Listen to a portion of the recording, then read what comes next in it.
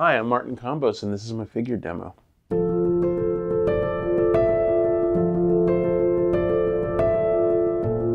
In this figure demo, you'll see how I interpret with charcoal and pastel my idea of what I see in the figure.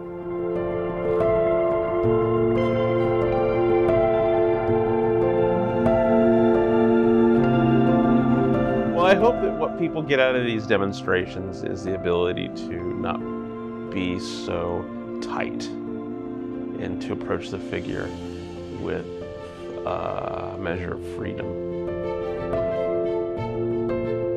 And I hope that I can help you all develop a measure of being able to use drawings as a point of departure, a very open vessel where you can create from them, which is what I've been able to do.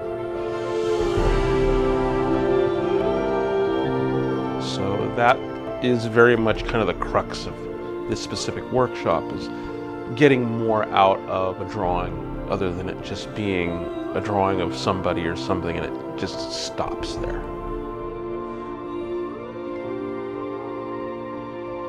Don't listen to people. Follow your own uh, passion as much as you can and develop a uh, strong focus towards it.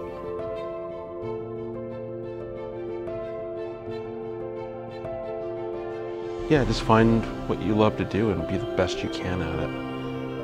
And keep your name clean. and uh yeah, I think that's it.